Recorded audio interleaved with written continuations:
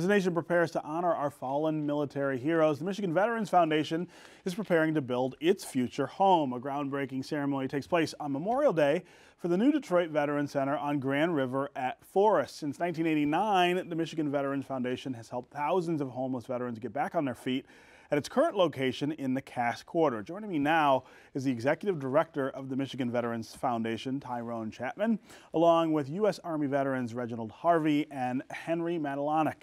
Welcome to American Black Journal. Thank you. Yeah. Good to be here. So there is something really heartbreaking about that phrase, homeless veteran, but that's a very real dynamic uh, in our community. And your work, of course, is focused on dealing with that issue when it comes up. Yes, sir, it is. Yeah, it's uh, hard for me to use those two words in the same sentence as well mm-hmm.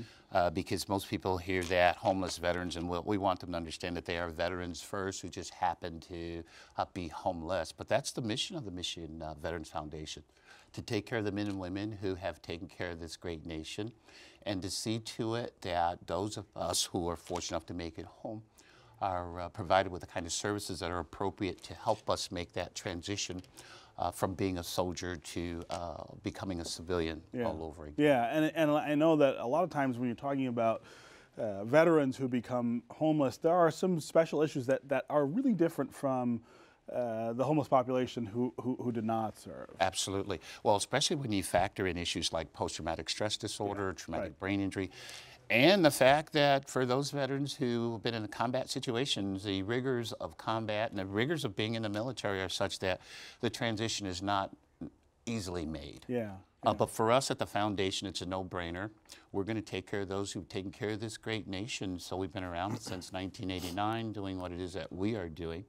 A group of us Vietnam veterans all got together and realized that we needed to take care of each other. And, and so uh, the foundation was eventually formed. And so We've evolved into this uh, major group as we are today, where not only do we do the transitional housing for the troops, we have a vet rescue program. So if a soldier is homeless for whatever reason, maybe burned out, evicted perhaps, or coming out of a long-term hospital stay, yeah. Had no friends or relatives to pay their rent or mortgage, and so they come to us and we take care of them. We also have a Veteran Service Center where we can do benefits explanations, claims filing, tracking, follow-up.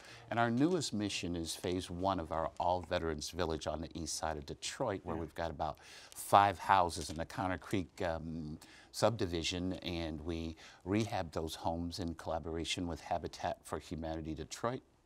Uh, along with uh, Bank of America. And so uh, Mr. Matylonek and, and Mr. Um, Harvey are both uh, residents in yeah. one of those homes. Yeah, talk about uh, talk about the journeys that the two of you have been on from the service uh, to these these homes over on the east side. I'll start with you. Well, uh, it's been a epic journey for me personally.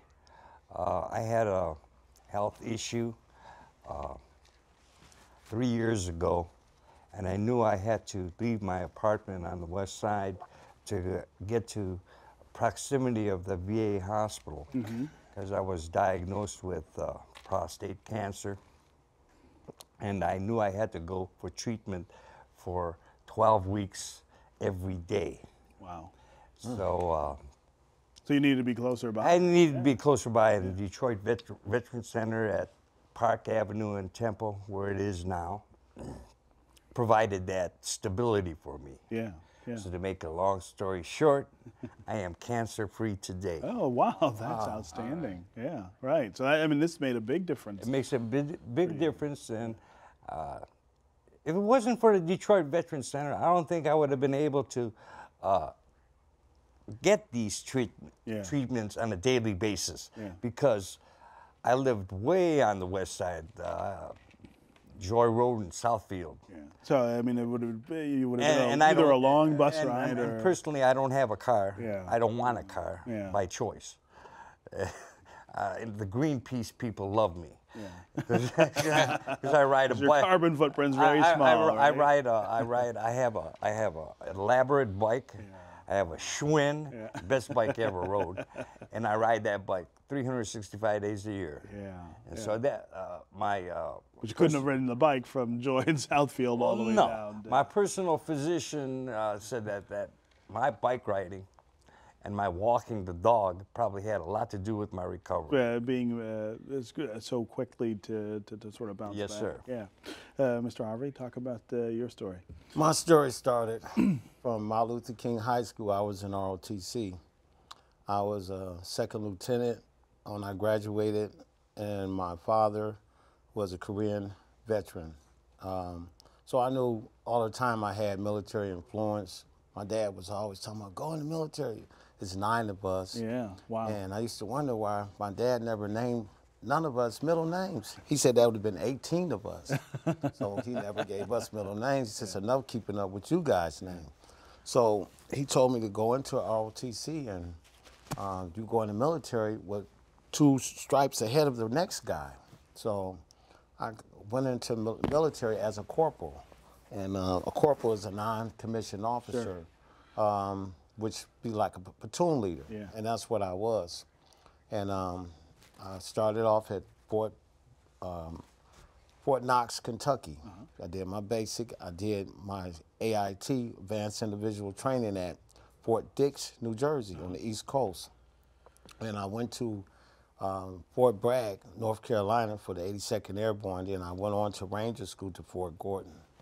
So um, I had um, uh, special ops training when you're going off into Ranger and Airborne, which you uh, have to make jumps, so many jumps right. to Right. be airborne. Yeah. Uh, and talk about the tr- the trouble that you've sort of run into. Okay, the trouble that I ran into was my house caught a fire and I got burnt out. Yeah. And I didn't even know anything about the Michigan Veterans Foundation, but I wound up when I got uh, burnt out, I had to go to the. I was. They said you're a veteran. We'll take you to the VA hospital. So Yeah. I was like, okay. So I wound up going to the VA hospital. It used to be in Allen Park, um, off of Southfield. So I went there, and then that's when they started telling me about different programs that you can get involved in. Then they started telling me about, you know, that you can get, um, you know, you can you can file for non-service connection or service connection. Yeah. And I wind up getting my disability for post-traumatic stress disorder, PTSD, Yeah. Yeah. which a lot of guys come home. Which a lot of guys. Uh, right. And. I was in Cambodia and Laos, on the other side of Vietnam. Right. Right. So. Uh, what, what, what I hear in both of these stories is both short term and long term need, and I would imagine that that's pretty common. Absolutely, it is. You know, for us, um, in our early days, as we were providing services, it wasn't long before we realized that we needed to really expand on what it is that we were doing because we were having a tremendous challenge trying to find housing uh, for these veterans. And one of the things that we really were against. We didn't want to put them in an apartment building or some building where people drive by and go, oh, all those vets are there. Sure. These vets came from communities and neighborhoods, and so we wanted to reintegrate them back into uh, the neighborhood and help in our own small way um, be a part of the renaissance of uh, Detroit. And so that's why we targeted that uh, east side of Detroit that had been long neglected and And abandoned, with just blight sort and of, uh, pretty left much. there, yeah. yeah, and intimidating. Uh, but bringing the, the soldiers in, we're not easily intimidated. Right. Uh, we are a real asset. We want the community to know that if you need us, Yeah. please call on us. We just changed all the flags at all our homes. We have the colors flying. We have our logo. Uh, so we want the public to know that we are an asset in your neighborhood, in your community. Even the youth, we want them to view us as um, a safe haven Right, uh, right. kind of a thing for themselves if they're confronted with something that makes them very uncomfortable. And then lastly, uh, we've targeted a building uh, that we want to acquire, rehab, and convert into a youth enrichment center, have veterans there as mentors. We've got some Eastern Michigan University and some other institutions on board who says, listen, we're going to help you out. Yeah. Come in, help these children make some positive life choices. We're going to serve one nutritionally balanced meal a day Wow. uh, and see to it that these kids get what they need because ultimately they're going to be our future. We've, we've got about 30 seconds left to talk about the groundbreaking on Memorial Day. Opportune time for Yes, this, right? yes, absolutely. you know, it's been long in the making. It's been a, a trem- tremendous road to traverse, to say the least. For a while, it was like climbing a slippery slope. However, we've prevailed. We're excited. We're building a facility that we call the Pentagon. Oh, there you go. Uh, yeah, so there will be a Pentagon in Detroit. It will be there. So we're excited about that. We're going to uh, take on some new challenges. And the neighborhood that we are in, we want to make certain that they understand that we are there to partner. Yeah. We want to integrate into the community. We're not just a bunch of veterans who are imposing part their of will. that. That's right. So if there are things that you guys want to do, community patrol, anything you can think of, after school recreation for the youth, because we will have a gymnasium, and we will still be serving a nutritionally balanced meal once a day for youth in that kids in community, who live at or below the poverty level. So we're excited. The men are excited. We're chomping at the bit to get in there. And That's right, Monday and is our day. happen. We're All rolling right. out the flag, the colors, the vehicles, fly over the whole nine yards. All right. Well, congratulations on the new site, uh, and thank you for being here on American Black Journal. Appreciate the invitation.